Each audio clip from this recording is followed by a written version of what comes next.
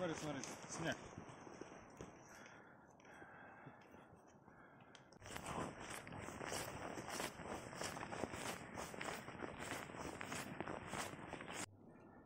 Вчера вот в этих зарослях поставили селки на птицу. Сейчас проверим. Если что-нибудь попалось, будем готовить. Снега по колено. Мы нашли интересную локацию. Огромный-огромный, метров, ну больше трех, на метра четыре, поваленный ствол дерева. Вот такая вот опушечка, со всех сторон защищенная пнями и стволами. Соответственно, здесь ветра не будет. Можно на стволе сесть посидеть, устроить лавочку. И очень много дров сухостоя. То есть, опять же, мы никакие деревья не повредим, потому что здесь уже все и так повалено. Очень удобно. Я уже раздел птицу, которая попалась в ловушку. Сейчас я мариную в пакете. К сожалению, не могу с собой носить кастрюлю, потому что пакет легкий, а кастрюля тяжелая. Все, немножко приправ, специй. И сейчас птица будет у нас жариться.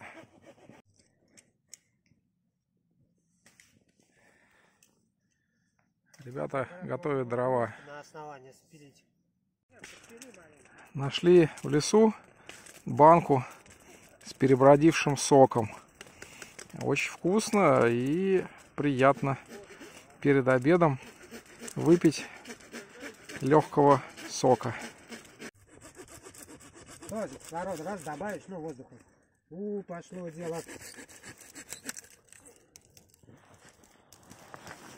Бумаги, да-да-да, на мороз самое лучше, все. Подожгли бересту.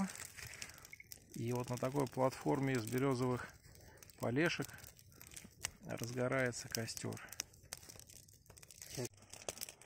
Дрова очень сырые. Костер активно дымит. Сейчас все это подсохнет. Лед испарится. И мы получим угольки. Даже на велосипеде вот по такому снегу можно заехать дремучий лес.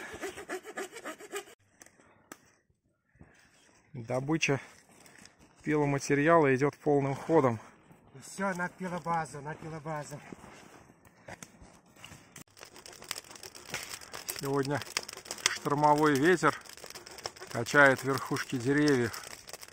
Снег уже закончился, и у костра становится тепло. Впереди долгая ночевка у костра. Мороз стоит лютый. Мы уже подготовили бревна, вот такие сухие березовые. И начинаем их подсушивать около огня. А ребята продолжают вот такие упавшие березы пилить. Нам надо, пока светло, заготовить на всю ночь дров и высушить их. Сейчас я их поставлю вот к этому песчаному склону, чтобы они подсыхали. И они высохнут. Так, пока мы шли к месту нашего кострища, я нашел проволоку и сплел вот такую очень удобную решетку, чтобы на нем приготовить птицу. И дровишки уже выложены и сушатся. Я надеюсь, что нам хватит на всю ночь этих дров.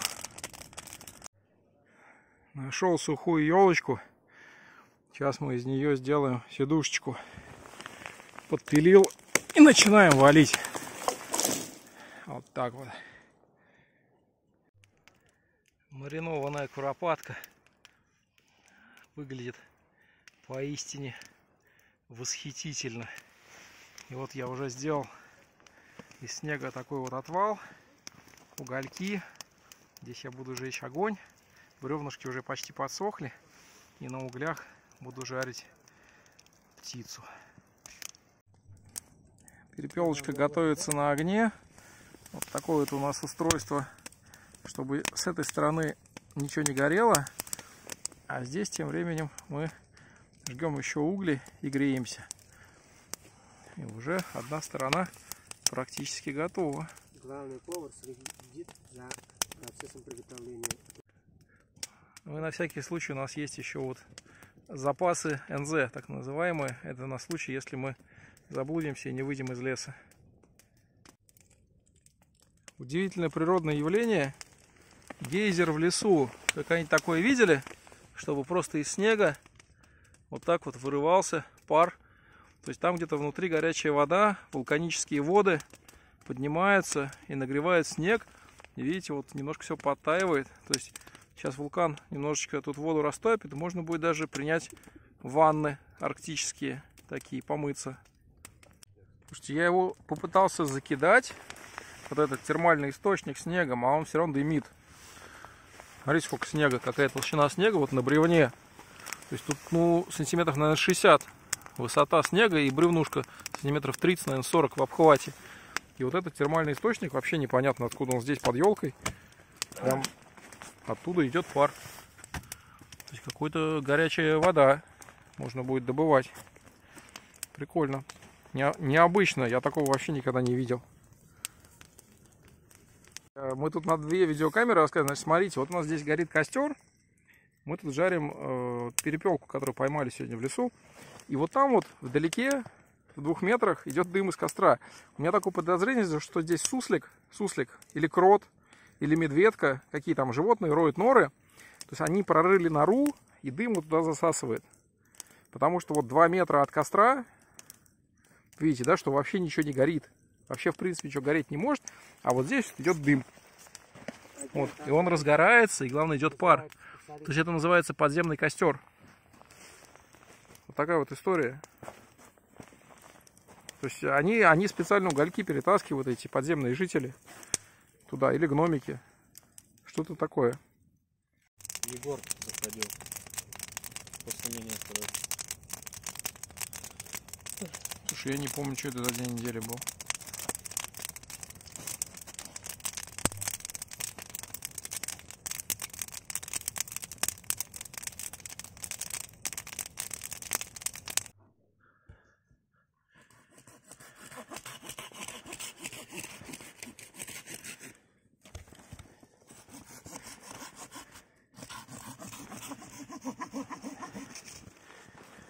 Так, это пока оставим. Нам всех хватит.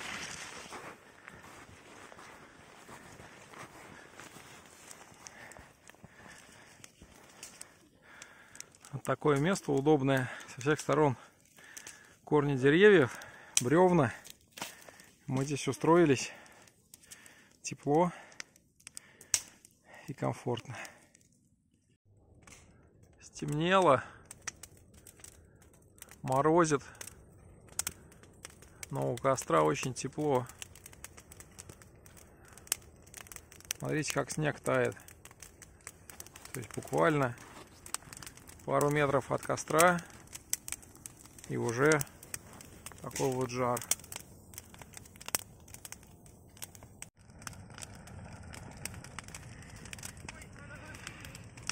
Огромный корень дерева защищает нас от холода.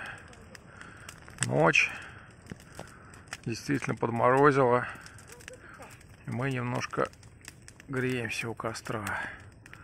Этот песчаный пласт у отвала корневища большой сосны отражает тепло. Я сижу, сушу обувь, и мне комфортно. Хотя на улице сейчас уже очень холодно.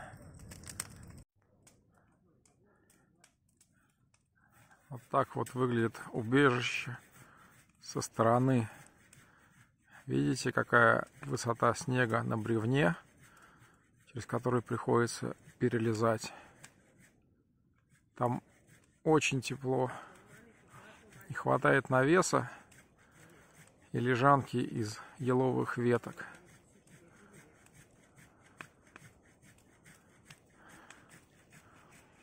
Ребята продолжают в лесу пилить дрова. Ночь предстоит длинная и холодная.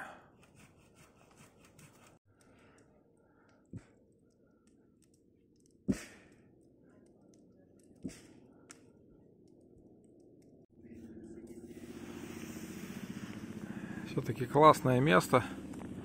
Со всех сторон вот такие завалы из деревьев. И вот там внутри горит огонь. И там очень тепло. Сейчас еще с другой стороны обойду, покажу, как это смотрится. Такое огромное бревно закрывает нас с северной стороны от ветра и холода. Смотрите, как красиво. Ночной костер с шашлыком и кофейком. Отдыхаем.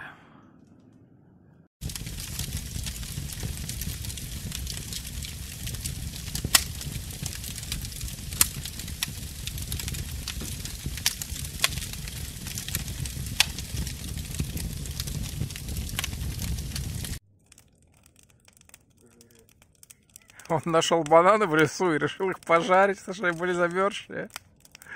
На палке их жарит. Печеные будут. Печеные бананы из леса. Ну, просто снег прошел, пальмы все замерзли.